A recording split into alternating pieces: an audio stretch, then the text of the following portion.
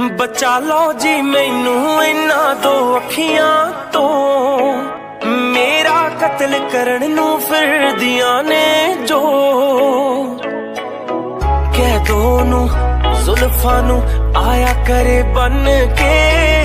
ਲੰਮੇ ਲੰਮੇ ਝੁੰਮ ਕੇ ਨਾ ਪਾਇਆ ਕਰੇ ਕੰਨ ਤੇ। ਉੱਤੋਂ ਗੱਲਾਂ ਦੇ ਵਿੱਚ ਟੈਂਪਲ ਪੈਂਦੇ ਜੋ। ਬਚਾ ਲਓ ਜੀ ਮੈਨੂੰ।